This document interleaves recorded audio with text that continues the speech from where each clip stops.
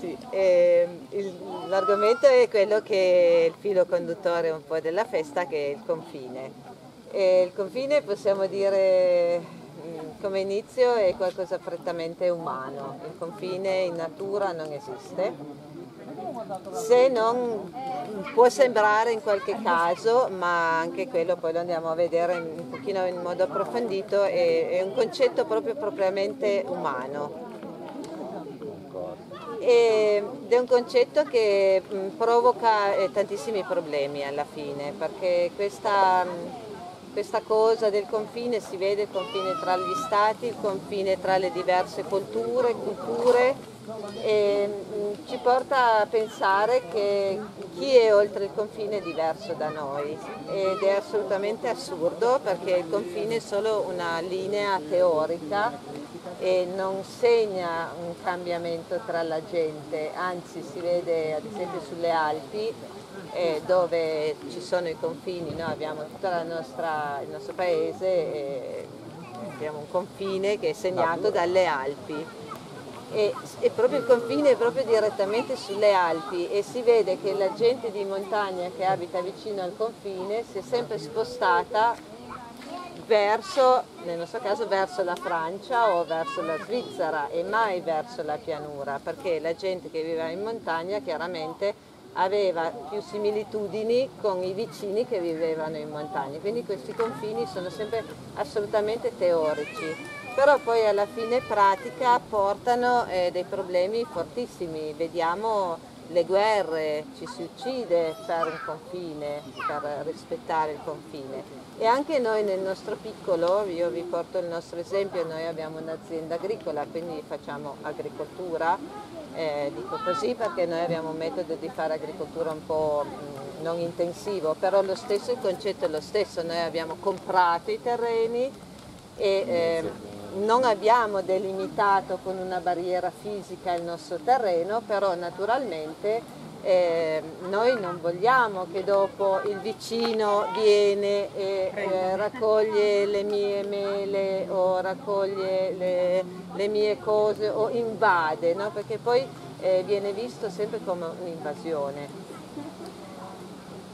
E quello possiamo vederlo anche proprio su di noi come esseri umani. Adesso vi faccio una piccola domanda un po' che sembra un po' assurda, ma ehm, abbiamo trovato potrebbe essere molto significativa. Eh, la nostra pelle crea un confine verso l'ambiente esterno, giusto? Ma è la pelle o sono i peli che sono sulla nostra pelle che creano il confine? Cosa mi dite? Io dico il pelo. Il pelo. il pelo che c'è sulla pelle. Esatto. E l'aria che passa tra i peli e la pelle, dov'è il confine?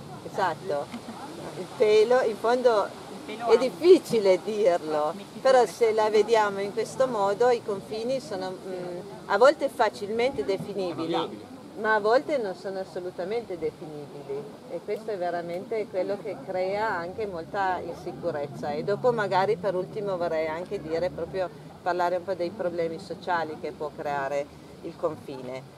E in natura, eh, quando si parla di confine, noi possiamo pensare tra la terra e il cielo, dov'è il confine?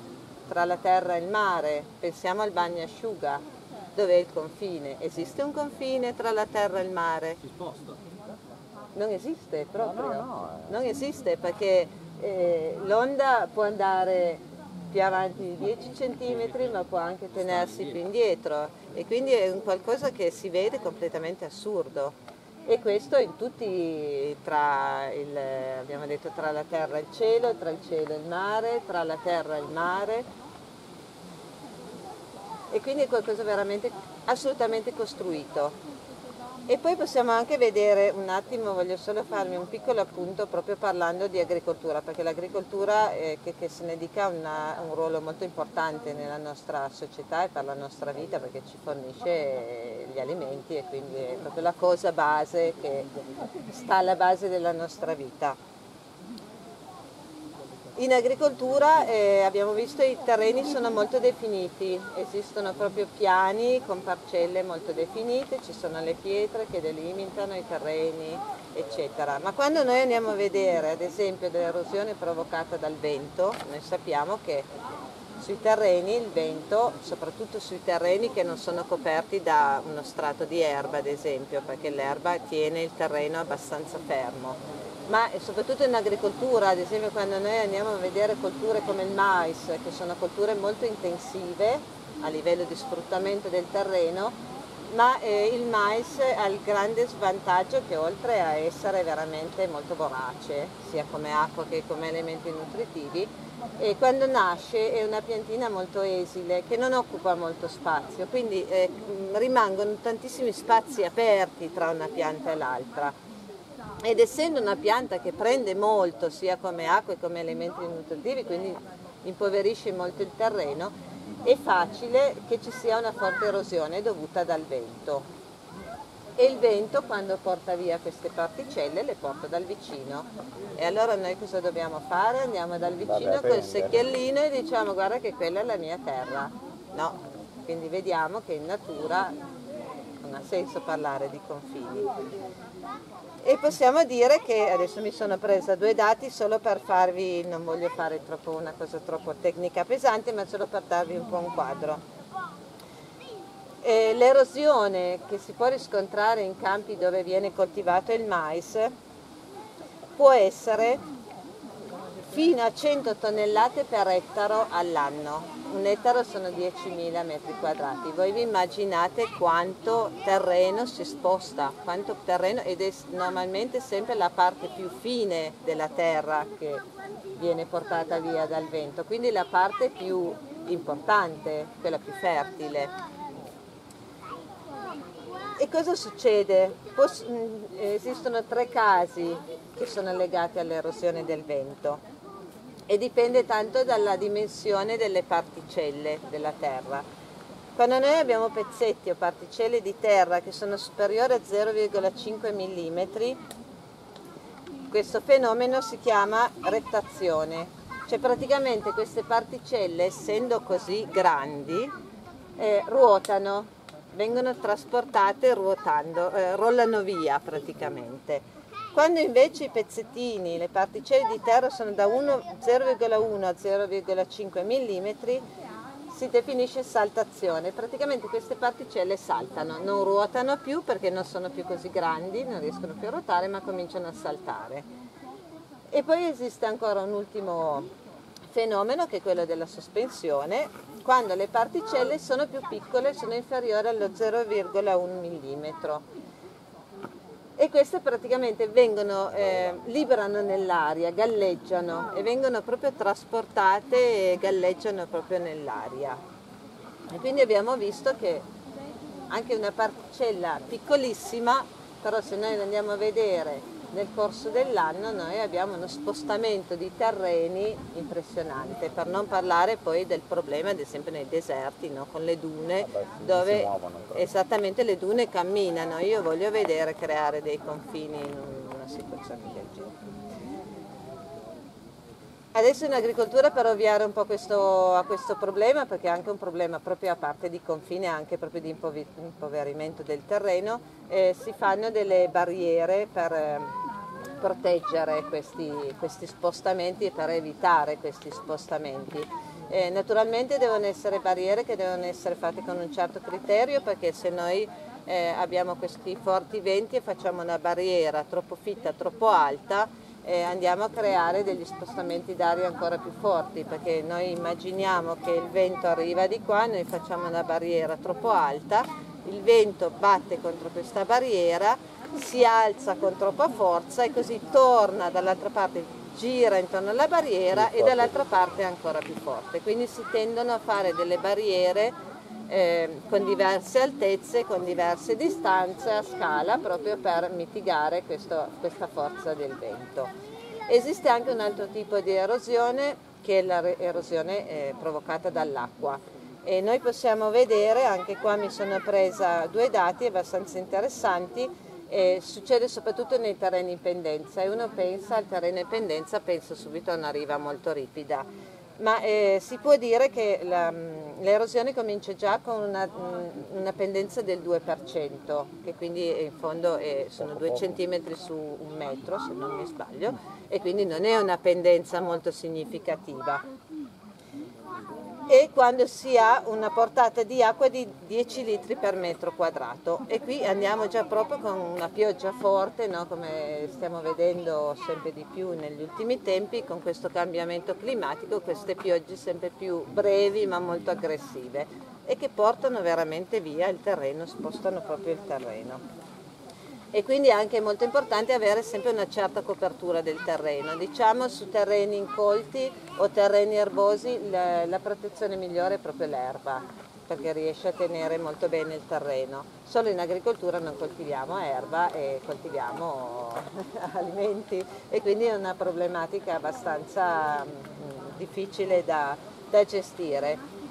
Eh, naturalmente quando il terreno è umido eh, c'è meno, meno, probabilità di erosione sia portata dall'acqua che dal vento perché le particelle del terreno si, sono più unite tra di loro quindi tengono meglio. Eh, però si vede ad esempio quando noi andiamo in pianura padana in primavera e arano, noi vediamo dietro il trattore, esistono, cioè, si creano proprio questi nuvoloni enormi di terra che viene portata da una parte all'altra e quello è anche molto pericoloso sia per l'ambiente ma anche per noi perché questi, queste particelle che abbiamo visto molto piccole sotto al 0,1 mm sono veramente molto fini, se mh, noi le respiriamo entrano nei polmoni e quindi com, possono provocare dei danni assolutamente pesanti anche per la nostra salute. Eh, con quello concluderei la parte dell'agricoltura, era solo un accenno, ma mi interessava molto di più dire esattamente in natura non esistono confini. Immaginiamo le piante, noi possiamo vedere le piante che abbiamo qua e crescono una vicino all'altra. Chiaro, le piante sono come tutti gli esseri, anche come noi, non c'è nessuna differenza in questo, eh, ognuno vive per la sua sopravvivenza, punta alla sua sopravvivenza, naturalmente. Eh, però diciamo, mentre noi abbiamo un atteggiamento sempre più aggressivo, anche portato proprio da questa cosa che sono i confini, dalle piante questo non esiste. Le piante vivono molto bene tra di loro, anzi in tanti casi ehm, creano delle simbiosi, e non solo tra le piante, pianta con pianta, ma ehm, soprattutto con eh, microorganismi e con funghi e batteri. Tantissime piante convivono eh, con le loro radici con microorganismi e batteri, quindi si crea proprio una simbiosi, cosa che tra noi umani è molto rara e difficilmente si può riscontrare. Ci sono dei casi molto rari di piante eh, possiamo vedere il noce che abbiamo esattamente un noce che è la pianta che vediamo appena qui dietro, questo, questa piccola riva e eh, il noce è una pianta allelopatica. Eh, esistono piante che si definiscono allelopatiche perché? Perché eh, vanno a trasmettere delle sostanze attraverso le radici ma anche attraverso il fusto e le foglie all'interno del terreno per allontanare altre piante, perché sono piante che hanno delle esigenze molto forti, quindi temono molto la concorrenza e per difesa emanano queste sostanze nel terreno e queste sostanze impediscono ad altri vegetali di vivere vicino. Infatti se noi vediamo, eh, soprattutto questi sono noci abbastanza giovani, per questo io avevo subito notato questo ma non è significativo, questo è anche un noce, questo qua dietro, sì, sì. ma vediamo che c'è molta vegetazione. Primo perché la, il terreno è molto in pendenza, quindi non è molto significativo come esempio, ma se noi vediamo eh, i noci, soprattutto quando sono già piante molto molto grandi, vedete al di sotto non cresce niente, no? proprio perché contengono queste sostanze che allontanano. Ma dall'altra parte il noce potremmo dire accidenti, com'è cattiva questa pianta? Non è vero, perché nello... Esatto, nello stesso tempo il noce ha un'attività attraverso le sue radici e lavora molto in simbiosi con tantissimi funghi e tantissimi microorganismi. E questo è, è di nuovo un, non è un confine, il noce non fa il confine con i suoi vicini, il noce vuole sopravvivere per questo Esatto, ha bisogno del suo spazio, ma nello stesso tempo interagisce anche con altri organismi. Gli animali, eh, gli animali sono per certi aspetti molto più simili a noi, noi ci sentiamo molto più simili agli animali che non alle piante perché abbiamo tanti punti più in comune, abbiamo le gambe, loro hanno le zampe normalmente, abbiamo gli occhi, possiamo sentire, possiamo vedere, quindi abbiamo molta più attitudine e più familiarità con gli animali. E noi vediamo, è successo proprio la settimana scorsa, eravamo in alta montagna e siamo, abbiamo nella nostra passeggiata trovato diversi branchi di stambetti e lì si è visto esattamente ogni branco al suo territorio. E questo succede con tutti gli animali, i cani, anche i gatti, i caprioli, tutti gli animali vivono in un determinato territorio e segnano quel territorio normalmente con la pipì o con gli escrementi per dire guardate che qua viviamo noi e quello potrebbe essere visto come un confine perché ogni branco ha il suo territorio. In realtà è, eh, si può definire confine ma è un confine molto molto blando, molto molto leggero perché a differenza di noi umani noi vediamo che quando il branco per un motivo o per l'altro si sposta quel terreno è di nuovo libero per altri animali. Non lo rivendica più. Esatto, e invece noi uomini la grande differenza che abbiamo, che anche noi segniamo il nostro territorio non con la pipì ma con i, i recinti, è già un pochino più moderno diciamo, ma diciamo eh, la grande differenza è che l'animale segna il territorio e impedisce ad animali di altri branchi di avvicinarsi e fa vedere subito guarda questo è il mio territorio. Prima cosa, eh, se non è proprio per sbaglio, per errore, un animale non uccide mai un animale invasore, deve essere proprio solo per un caso, per uno sbaglio, perché gli animali attaccano, fanno capire, dicono guarda che questo è il, tuo, il nostro territorio, tu fai parte di un altro branco, non ti vogliamo, ma è un'intimidazione. Invece noi umani uccidiamo per mantenere i nostri territori, eh, le guerre, abbiamo una storia di guerre di migliaia di anni, quindi è proprio molto significativo.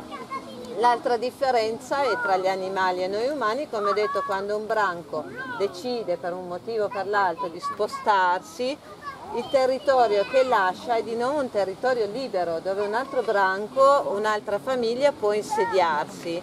Invece noi umani cosa facciamo? Quando noi compriamo un terreno, e poi moriamo o abbiamo deciso di andare a vivere da un'altra parte, quel terreno non è più libero, rimane lì e rimane nostro, anche se noi siamo già morti magari.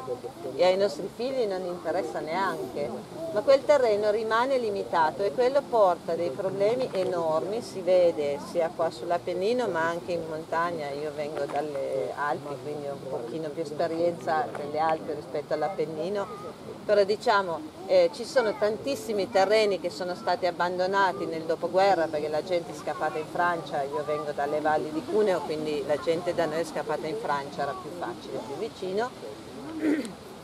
E quindi sono stati, sono, hanno lasciato completamente questi terreni, questi terreni sono ancora fermi adesso, non c'è la possibilità né di coltivarli né di usarli perché sono proprietà privata e questo è un danno per l'ambiente ma ehm, noi uomini in quelle cose siamo anche un po', scusate il termine, ma siamo anche un po' stupidi perché siamo un po' limitati, vediamo solo fino a domani e non vediamo a lungo termine è controproduttivo perché adesso noi abbiamo tantissimi terreni incolti, abbiamo una fame di terreni perché siamo sempre di più. Importiamo magari il grano da Esatto, e eh, questi terreni non possono essere utilizzati perché sono proprietà privata. Qualcuno li ha pagati. Esatto, e quindi sempre, noi abbiamo sempre sostenuto questo, abbiamo sempre detto il, la terra non si deve comprare, la terra è una risorsa che deve essere per l'umanità, per tutti, non solo per l'umanità intesa come uomo, ma per tutto, per tutti. Quindi sarebbe opportuno magari rivedere un po' le nostre regole che ci siamo costruiti nel tempo e eh, il terreno non si dovrebbe comprare ma semplicemente affittare, un usufrutto, diciamo così. Finché io sono vivo e coltivo questo terreno ho il diritto a coltivarlo. Quando io non ci sono più oppure non lo voglio più coltivare, questo terreno deve ritornare alla società, alla comunità, perché la proprietà privata è assolutamente deleteria ed è un qualcosa che ritorna ehm, contro di noi, non per noi. Un'altra cosa che mi sciocca sempre tantissimo sono le delimitazioni delle proprietà private. Io come ho detto noi eh, nei nostri terreni non abbiamo per scelta fatto nessuna recinzione, nessuna delimitazione perché non vogliamo dividere quello che è nostro da quello che non è nostro, perché la natura non interessa all'erba che c'è per terra, alle piante, esatto, non interessa. È anche brutto vedere, soprattutto poi dove ci sono comunità, quindi dove c'è un certo mm, ammucchiarsi di gente, per difendersi cosa si fa? Si fanno i cancelli, si fanno le palizzate, si fanno i muri, ma tanto i ladri entrano lo stesso. A cosa serve in fondo? Non aiuta, è solo per fare vedere questo è mio. Esatto, questo è, è mio. È una sicurezza tua. Esatto, ma è una, è una sicurezza fasulla, finta, non finta, è reale. Che ti hanno fatto credere sia necessario. Esatto, e quello eh, porta proprio a un restringimento anche mentale. Esatto, perché quando noi cominciamo a pensare in questo modo, più cominciamo a chiudere questo è mio, questo è tuo, tu non puoi entrare, tu non puoi fare, diventiamo sempre più chiusi e più cattivi. E più cattivi. Esatto, quello è esattamente il punto. Invece di essere qualcosa Solidali. che porta a uno sviluppo per la nostra società, porta a, un, a tornare um, indietro ma, ma nel, nel, senso cattivo, esatto, non, non, fa bene perché ci chiude la mente e diventiamo molto egoisti e diventiamo troppo possessivi, ma la vita non è possedere perché tanto noi non ci portiamo dietro niente, dare, la vita è esatto, condividere e anche con la natura. Adesso io vi faccio un esempio, io quest'anno eh, chiaramente noi ehm, abbiamo una parte del nostro terreno che per me è molto importante e, diciamo noi facciamo anche coltivazione perché abbiamo un'attività, quindi dobbiamo anche produrre per avere qualche soldino.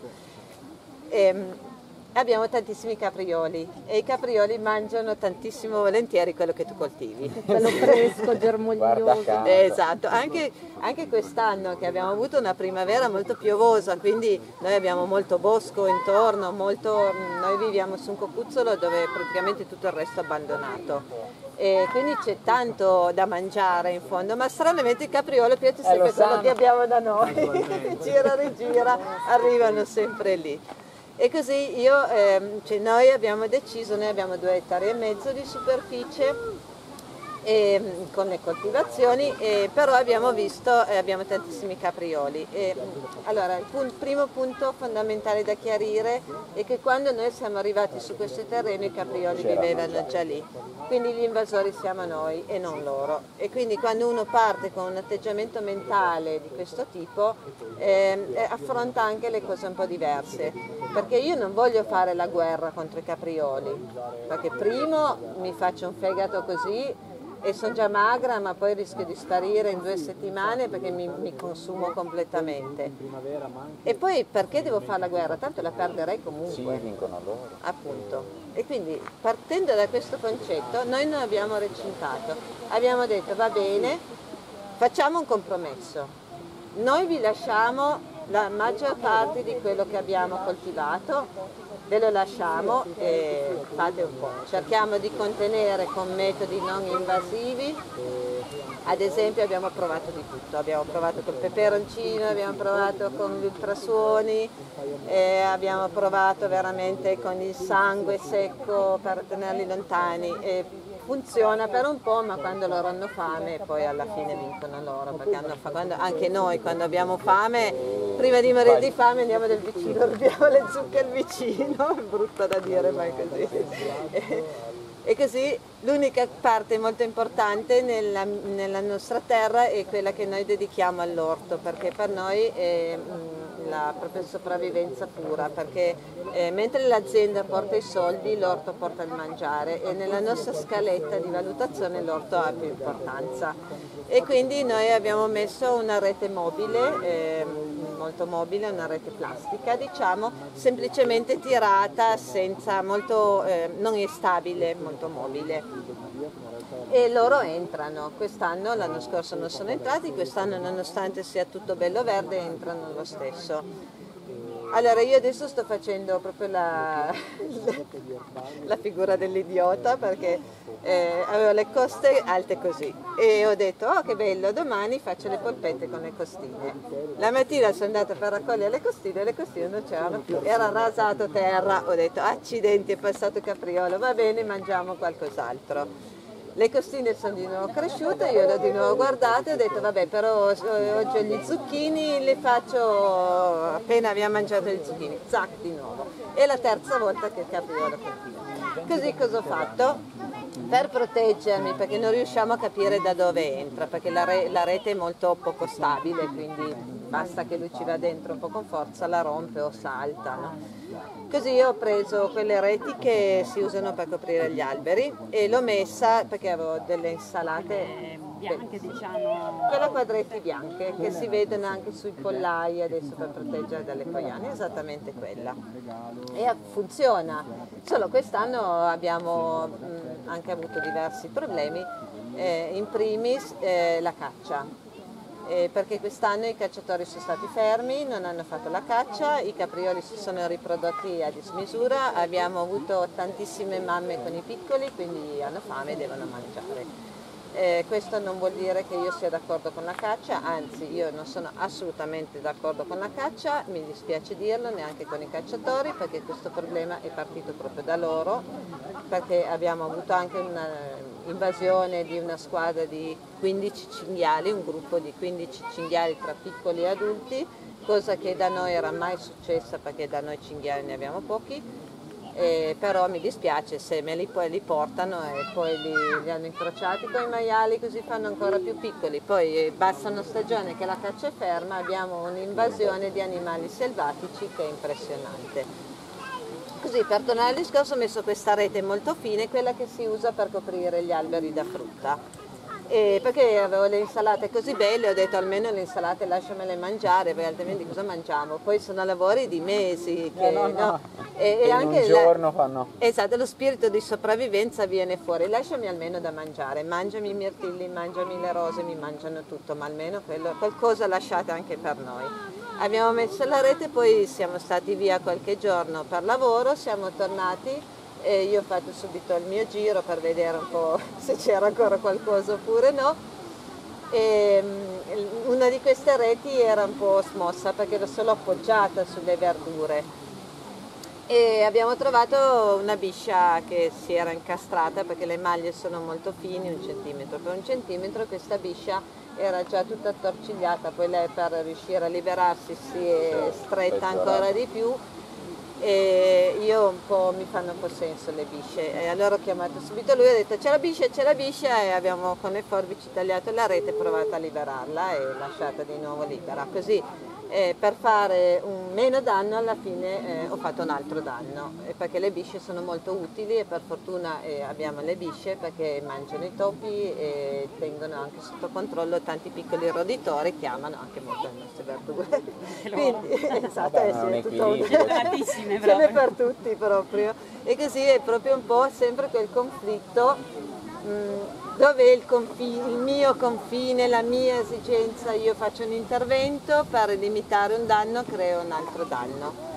E così adesso devo un po' di nuovo rivedere tutta la mia teoria con questa mia recinzione. Assolutamente non vogliamo fare recinti fissi perché un recinto fisso vuol dire eh, portare reti in metallo, eh, pali, eh, cemento perché da noi la terra non tiene, il palo deve essere per forza cementato e questa rete di nuovo un confine fisso. E quel confine fisso rimane. E anche quando noi dovessimo per caso toglierlo la terra quel trauma non lo supera così velocemente. E per questo ci prendiamo tutti gli inconvenienti del caso e, e cerchiamo altre soluzioni. Torniamo un attimo ancora a noi e diciamo esattamente i problemi sociali creati proprio dai confini che noi stessi abbiamo creato. Abbiamo detto quando noi facciamo un confine vediamo quello che dall'altra parte del confine è diverso e anche non accettiamo che la gente entra poi, la gente che è fuori dal confine entra nel nostro confine. Vediamo adesso con i problemi dell'immigrazione. Sicuramente è anche un po' una questione di malgestione eh, diciamo, politica, sociale, e ci sono tanti fattori, adesso non è questa la discussione, ma solo per dire noi non vogliamo che loro vengano da noi, assolutamente assurdo. Pensate, cioè, possiamo pensare, soprattutto noi italiani, Ma siamo noi in tutto il mondo. Centinaia di anni di, migra- di emigrazione. Esatto, siamo andati in tutto il mondo, siamo in America, siamo, esatto, siamo, siamo andati ovunque e poi fino a qualche tempo fa era, era, totalmente normale questa migrazione, questo spostamento dei popoli da una parte all'altra, popoli o anche singoli individui. Adesso improvvisamente non vogliamo più, non vogliamo, vogliamo chiudere, vogliamo proprio fare una barriera e non accettiamo più, quando esattamente come ha detto siamo proprio noi che siamo andati in tutto il mondo. Io credo che il concetto sia il fatto che siamo noi che siamo andati, noi siamo andati e va bene, questo è, è più che altro eh, forse il, è più legato al discorso della guerra ai caprioli, nel senso che è innato, è naturale, come impedire alle piante, come impedire al certo. capriolo di andare, no? è come è, infatti lì si va forse semplicemente in un discorso politico che viene esatto. l'unico fine è quello esatto. ma chi lo fa sa benissimo che sta esatto. lottando contro però il problema è che quello si trova anche cioè, piano piano eh, entrato anche dentro di noi. Perché viene utilizzato come esatto, anche, gioco, esatto no? anche noi adesso siamo diffidenti, anche noi vediamo ma quello è uno straniero, eh, mio marito è tedesco, noi scherziamo sempre e diciamo mio marito è extracomunitario. Perché Però anche lì ci hanno fatto credere il paese di serie A al paese di serie B, perché il tedesco esatto. in Italia gli fai, gli fai, la riverenza, no? per esempio. Sì, però sei sempre extracomunitario. Sì, sì, però, però fa bene. E... Se invece arriva uno dal Medio esatto, Oriente, arriva il povero, dopo diciamo il povero viene per approfittare come, esatto, come per me il capriolo. Ecco, adesso questo viene e mi ruba e poi dall'altra parte non pensiamo che invece sono esattamente una risorsa soprattutto ad esempio in agricoltura, no? chi è di noi che lavora ancora eh, come dipendente in agricoltura? Nessuno, ti pagano 800 euro al mese, obiettivamente un italiano non, eh, non, cioè, non, ce la fai perché con 800 euro al mese tu non puoi vivere, lavorare 8 giorni, eh, 8 ore al giorno. Esatto, esatto.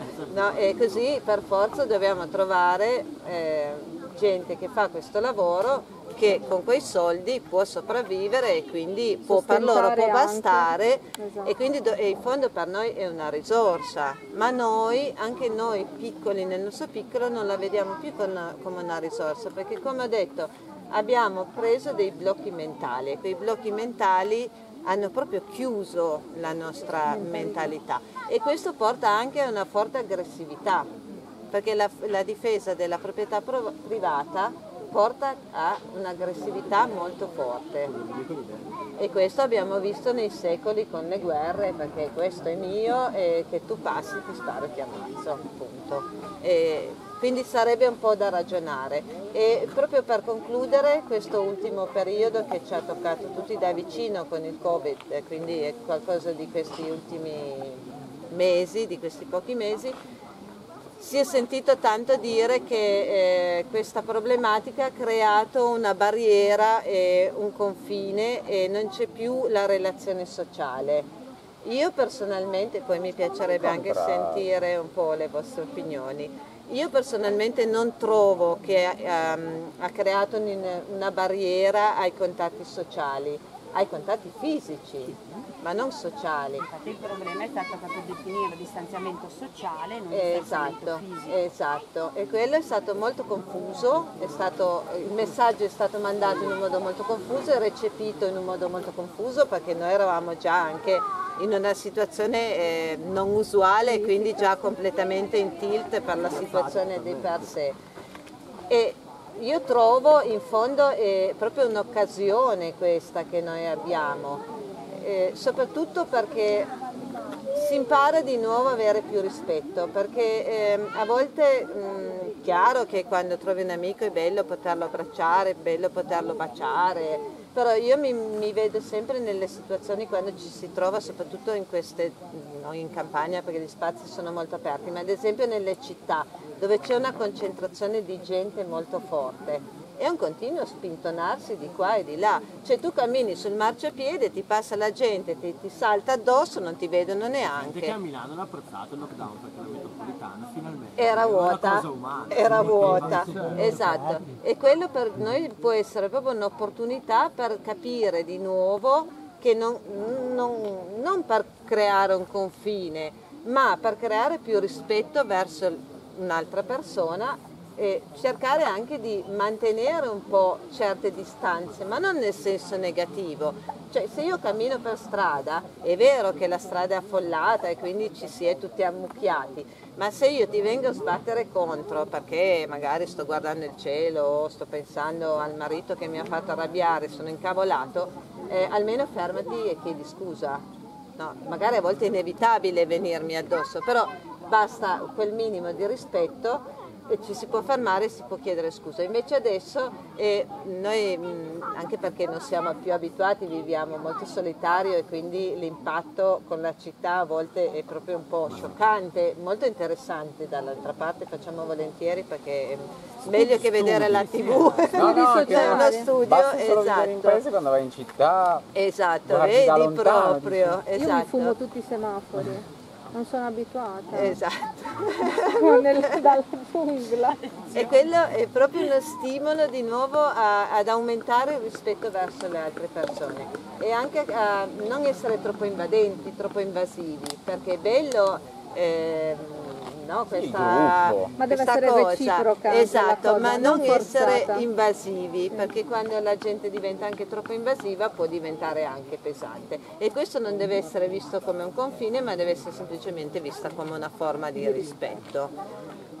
Va bene, con questo più o meno. Adesso però mi piacerebbe un po' sentire voi come, come vivete questa cosa col confine, che, A me che impressione che avete? Mi, mi ha scioccato quando mi sono trasferita in Liguria o comunque in molte città marittime sono, è la questione dello stabilimento balneare. È una cosa assurda. Terribile. Io non la concepisco, sì. mi sembra proprio ass- chi ha deciso. Cioè non... Siamo tonni nella scatoletta. ma lo stabilimento balneare da un posto dove la spiaggia è è, non è privatizzata. Là in Sardegna la spiaggia è, è il 99%, a parte un po' di Costa Smeralda, free. È come qua in campagna, come se tu andassi nei prati e sono a settori di prati. I prati hanno un nome, un colore, tu paghi l'ingresso e la spiaggia effettivamente esiste da chi non l'ha mai vista privatizzata. Pagare per mettere il mio asciugamano sulla spiaggia. Pagare per il passaggio, non puoi fare il bagno in quell'acqua perché cioè, quel rettangolo di stabilimento. Io la vedo proprio una, come una cosa Lei me l'ha fatta notare, proprio... noi ci siamo nati e cresciuti. Tu hai un metro di spiaggia libera all'inizio.